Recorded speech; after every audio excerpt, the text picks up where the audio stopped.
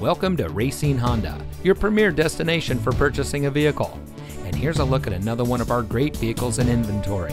And comes equipped with lane departure warning, MP3 player, leather seating, Bluetooth smartphone integration, heated front seats, climate control, stability control, power outside mirrors, keyless entry, leather wrapped steering wheel.